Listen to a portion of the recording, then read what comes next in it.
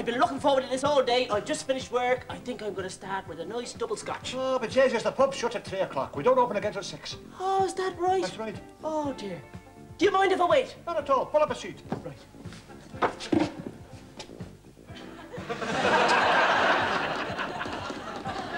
Would you like a drink while you're waiting?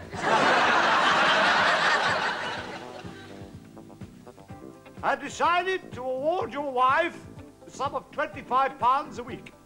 That's very kind of you, Worship. And I'll try and send her a few bob myself. Hey, Wilf, Wilf, did you say you wanted to get up at seven o'clock or eight o'clock?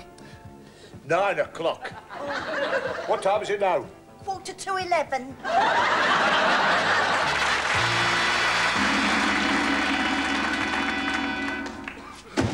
eleven. I see you, Jimmy. I'm here with a sub shop and a but I couldn't give you the piece of the credit. I'm starving, I'm ravished, I'm famished. I could eat a sweaty football. hey, you. How you know my name? Oh, that's just, just a lucky guess. Ah. I'd like dinner for two. Uh, you're too late for dinner for two. It's 2.30 already. No, no, see, what you mean is I want a dinner for two people.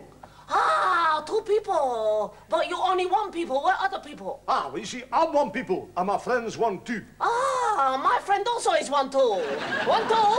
Hello, on. You know this man? No. He say no you. No, see, you misunderstand me, Jimmy. See, what you mean is, see, see, let me explain this, see. I want a dinner, and my friend wants one too. Your friend wanna meet one two. One two.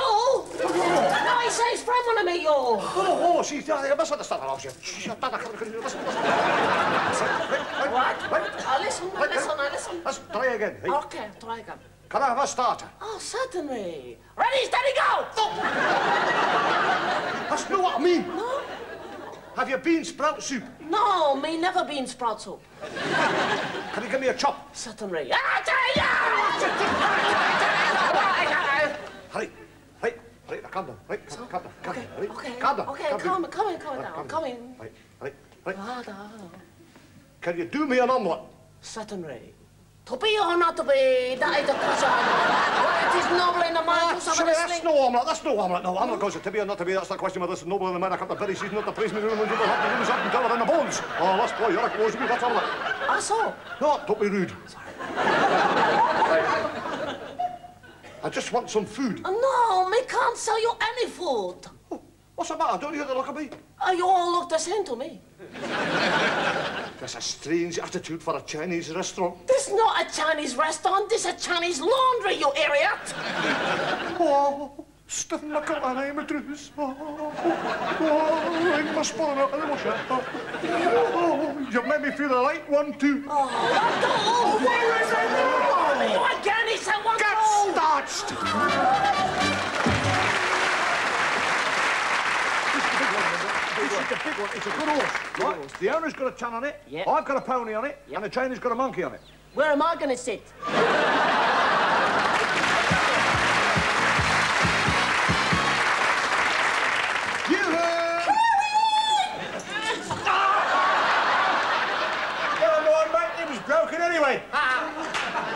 Jim, the old shiner. Jim, Jim, good to see you. Hello, Harry. Hello, Audrey. Keeping well, are you? Well, no, actually, I'm in hospital. Of course you are, Sam. Of course you are. How nice of you to come. Oh, not at all, Jim. We thought we'd come and cheer you up. What with you being cooped up in here all day? Right. I expect it's nice to get away from the annoying things in life. Yeah, yeah, it would be. Hey, Nothing. we brought you a present. Oh, how nice. A box of truffles. But I'm not allowed to eat sweets. We know. We ate them on the way. Ah. Lovely. Hello, hello, hello. These your apples, aren't it? Yeah. You know what they say, an apple a day keeps the doctor away. We are old. Hey, hang on, what are you doing? Keeping the doctor away. Got any crisps? No. These your letters, Jim. Yeah, I haven't had time to read them all yet. I'll help you, son. Hang on. Dear Jim, I've had enough. You're a lousy lover. I'm leaving you forever. Yours, Caffey. What? That's what it says. He doesn't. No, it doesn't.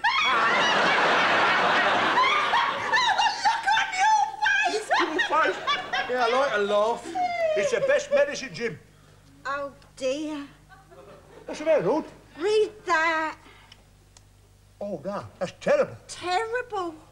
Oh, What? What does it say? I don't know, but it's the worst writing I've ever seen. Awful terrible. Is that all? Well, it says here that you've got toenail disease. Toenail? Are you sure? That's on. not what they told me. Hang on, son, hang on. That could be terminal. it's definitely terminal.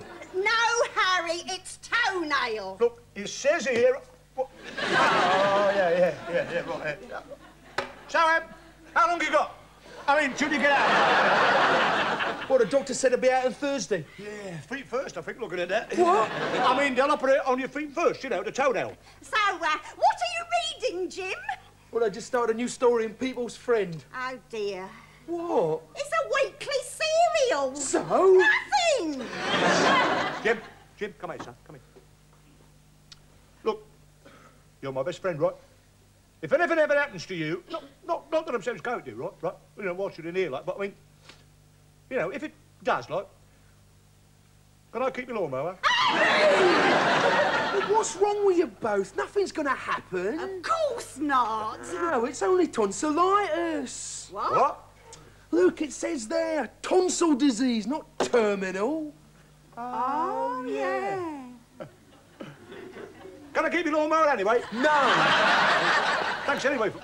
Audrey, I reckon you and I are entitled to these two final cherries. Well, Harry, Audrey, you've certainly cheered me up. Really? Yep, those are me tonsils. He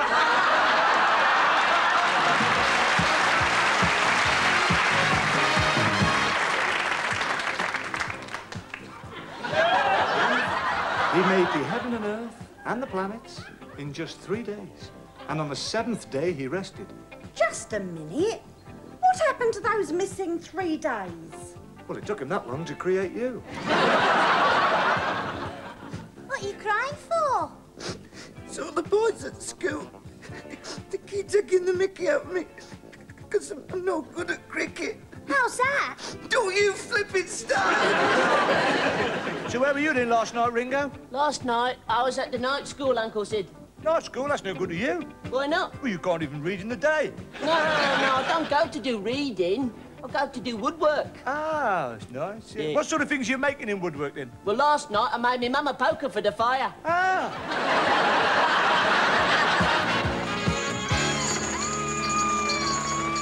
Oh, Geoffrey, I can't take any more of this. Eleanor, any old house is bound to creak and groan a little. You see, uh, that's just the house settling. I've had enough. I've sent for some expert help. Expert help.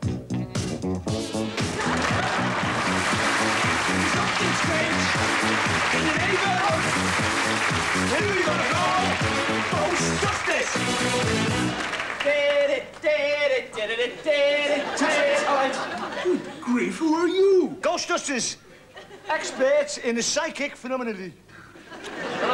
And on Thursdays we do drains. Hang on a minute. How did you get in? Oh, this nice little old lady let us in. But there's nobody here but us. What did she look like? Well, she had a red dress on, right? She had uh, grey hair down to her shoulders, and uh, I'd reckon she was about five foot tall. Right, yeah. She'd have been a lot taller, but she had her head tucked under her arm.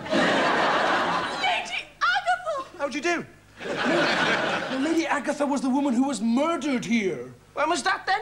1650. Ten to five? That's only two hours ago. We better call the police. The year 1650. Since then, there's been a curse upon this house. Oh, stuff and nonsense, Eleanor. Hey, listen, you don't knock the occult, mate. We've seen a lot of those happenings. I tell you, plates flying across the room, doors slamming, and big loud screams. Yeah, but your missus has always been like that, hasn't she? We've had plates flying off those shelves over there. Right, calm down, calm down. She's hysterical, this Calm one. down. We'll take a look. Yeah. That's it. Did it? Did it? Did it? All right, all right. You know what you've got, don't you? You've got a non-specific, multi-dimensional roving spirit. A poltergeist? Uh, no, thanks. I've just said a wimpy.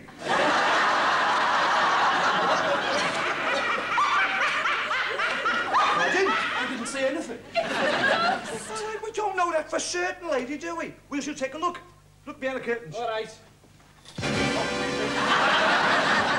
See, there's no sign of anything specific or psychic or spooky anywhere. That was the ghost of Lady Agatha's maid servant who was killed with her. Get away. We'd better have another look. Yeah? Yeah, such a... Oh, hang on! Hey, this looks very nasty, very nasty. Oh, you know what that means, don't you? What? Rising damp? My God, Mr. Rigsby. Have you learned in sound of Yes, that? I hate that, yeah, I love it. We can fix that damp. Yeah, give you the first. Somebody give us 10p for the meter. I thought you were there. I thought you were him. Quick, man, do something! I think I already have. Well, don't just stand there! Yeah, it's best to keep moving. Come on, let's go. All right. Leave us. You're supposed to exercise this ghost. Exercise? I'm not joking with that. Walked the lonely corridors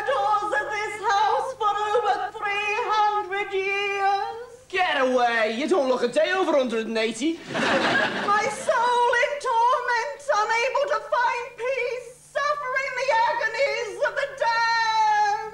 It's Esther Rantzen. you want to get some synethidine down the neck, put the colour back in the cheeks. There's something you can do. If she was down a drain, we could help you. Hang on a minute, Jason. I've got an idea. If we set up a particle field, right, using the cross-beam molecular disruption generator, we should be able to hold an ectoplasmic mass in abeyance long enough to get the RL converter and transporter and send her and her mates across the void. Couldn't you just move? Council house. Oh, just get on with it! All right.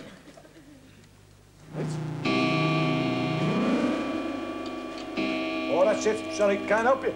Why ever not? It's against the law. No spirits after 11 o'clock. Come on.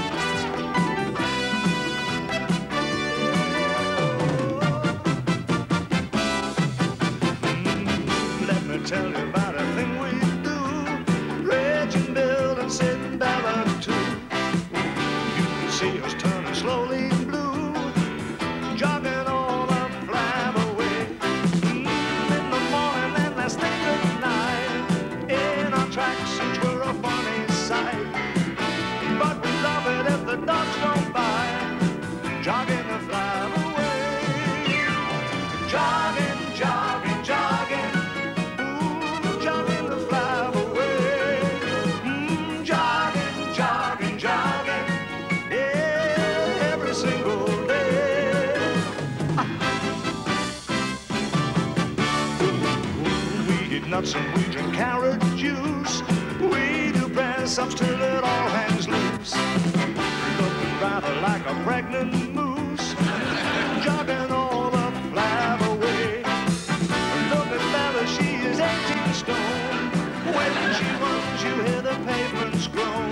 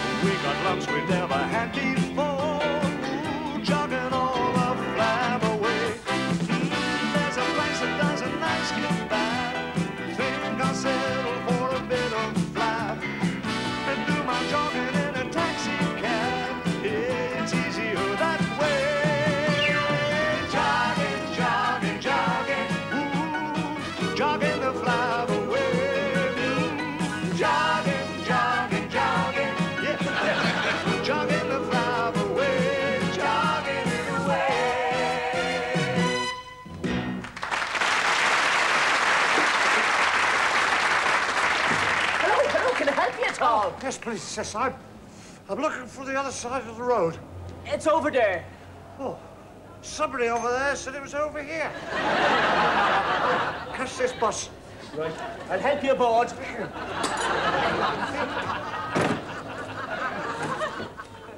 Oh. I haven't got the fare.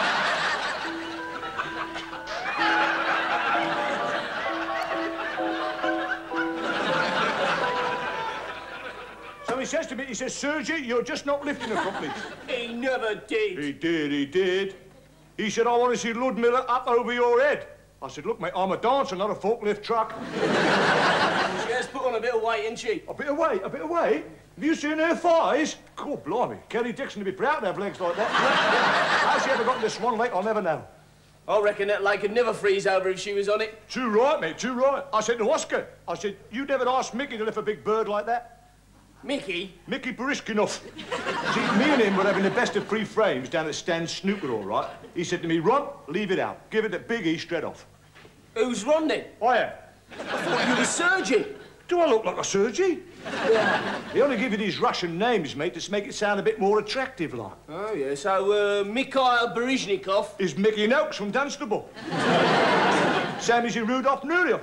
He's really Bobby Digweed from Mile End. He's not Bobby Digweed. That's why they don't do interviews. Oh, right, yeah. I mean, how do you think Rudy, I mean Bobby, got on so well with Peggy Hookham? Who's Peggy Hookham? Margot Fonteyn. I thought it's because of their common belief in their artistic integrity. That's cobblers, mate. Yeah.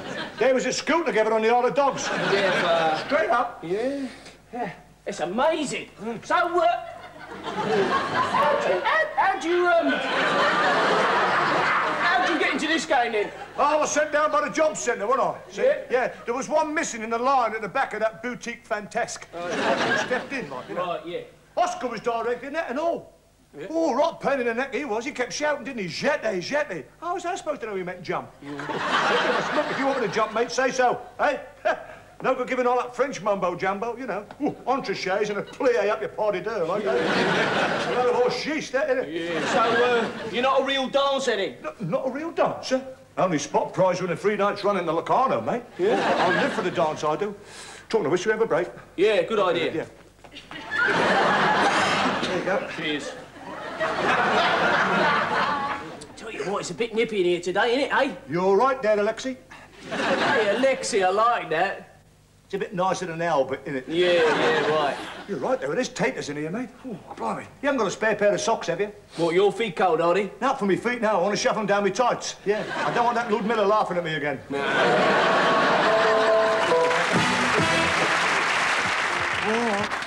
Are we going to go straight to sleep tonight, or what? What?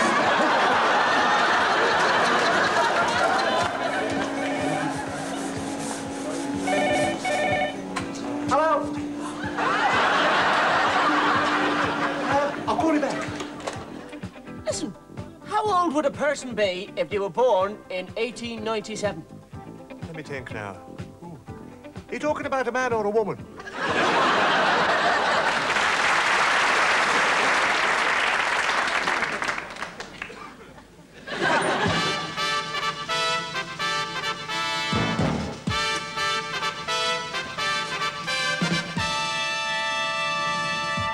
Are you the one they call Bilious? Unfortunately, I am. And you must be devious. Extremely. Are you with us in the plot to assassinate Caesar? Yes. Then it's time for us to act. Why? The sketch has begun. Ah. Make way for His Imperial Highness Julius Caesar, Emperor of Rome, Monarch of the Glen, King of the Day, Pick of the Week, Top of the Pops, Dish of the Day. All right, all right, all right, all right, all right, all right. Then no. Then no, don't go on. This is Brutus. I call him Brute. Go, imagine splashing that all over. Go and get some goblets of wine. How many? Get two, Brute. Hail Caesar! No, no, no, hail. Just a few scattered showers and a deep depression coming from the south. Caesar! Here she comes. What time do you call this? Your dinner's been in the charcoal for seven years. Where have you been? I've been conquering Britain, haven't I? And why are you speaking in that funny voice? It's something I picked up over there. Caesar, Aye, aye, Claudius. have I got time for a... A proclamation. Oh, uh, Blazing chips. oh, uh, How'd you like it? oh, have I got time for a... A poem? Yes. Oh, thank God for that. Stop that, Gropius! It must. The population's increased while I've been away. Too many orgies, that's what it is. Tell you. Do you know when I left, you couldn't get the Vestal Virgin for love nor money? Talking of Vestal virgins, who's that? Ah, well, that's my new English slave. Ah, yes, it's been a class, that, you know. It's a sort of a slow enge. Ah, ah, yes. Her name's Fergie. Ah, see how I feel? Ah. See, I was feeling a bit off one day, so somebody said, take Andrews. So here she is. Ah.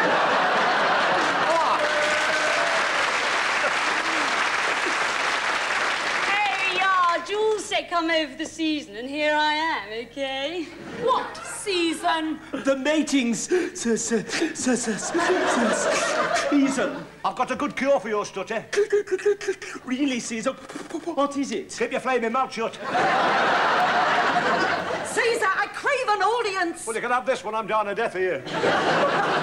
Incidentally, there's a new procedure to guard duty, right? When somebody approaches now, right, you shout, halt, who goes there? If they shout friend, you tell them to pass. If they shout foe, you kill them. But take your time, it might be Claudius. Oh, what a super joke, Jules, you wag. Yes, I know I do, it's this toga. Ah. I'll have to get it taken in a bit, yes. You told me flares were coming back. Oh, Caesar. I'm not going. Flares are out. Oh. I say, Caesar, is, is that your wife and children over there? Ah! Oh, so that's the family, Jules. oh, get it? It's an English joke. Well, I'll do the jokes, all right. Caesar, you obviously haven't realized, but while you've been away, there has been mounting discontent among the populace. There is a plot to kill you. Say that again. oh, forget it. I know what's going on. I know what's going on. My soothsayer told me. What did she say? Sooth. Devious, devious. The time is right. Take this knife. We strike when Claudius introduces Caesar. I'm ready to go on now. Yes. Do me warm up. Yes. Give us a good one. Yes, Caesar. Good evening, ladies and gentlemen, and welcome to the show. Have we any parties in? We're expecting one from Britannicus Rail, but they've been held up at Get on with it. Peterborough. Anyway, let's have a great big Roman welcome for your conqueror and mine. It's the way he kills them, Julius Caesar. Ah, Thank you, friends, Romans and countrymen, and those who've had the operation, lend me your ears. And any other bits you got going. Ah. Claudius, knock us, knock us. Who's Oh, forget it, forget it. Stick us five pound each way on Goliath. There you go. Now then, welcome to the meeting. Any questions? What did you find in ancient Greece? Ancient chips. What Empire? The you mean the one next to the Odeon? It's going over to bingo. I'm going to call the numbers out in Latin so the Greeks can't win. Ah. What about Genghis Khan? No, he can't. He's been cut off at the front. Ah. now, listen, listen, listen. It's time to close the meeting now, right? Always remember, when in Rome, do as the Romans do. When in bed, please yourself. now, if you're driving, don't forget them chariots. There's a man knocked down every five minutes. And he's getting pretty sick of it. and we're going to close with a well-known song, Keep the Rome Fires Burning, but instead is a modern one by that group, the US. Claudius, Yes. will you help me sing this song? Yes. Here we go. People try to put us down. Talking about my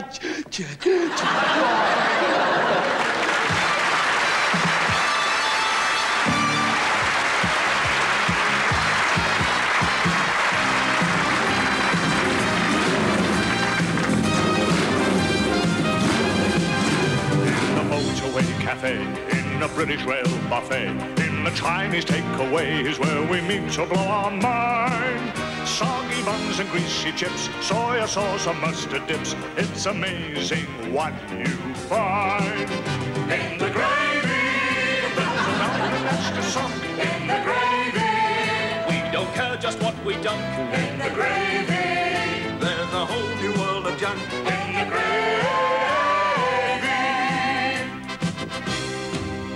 Jumbo burgers, chicken legs, blackened toast and runny eggs, coffee tasting of the dregs. It's a flavor that still clings. Cut that's battered half to death, biryani on your breath. You can find the strangest things in the gravy.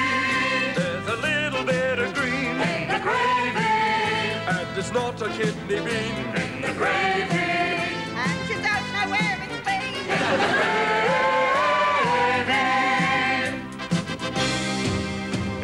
Dining at the Ritz. We admit that it's the pits as our chins explode in zits, but we really feel alive as we slush the ketchup on and the flavors come along. Oh, Jacques Cousteau ought to die in the gravy. There's a rather nasty blob in the gravy. It's amazing what they love in the gravy. Oh, it's great to be a slob in the gravy.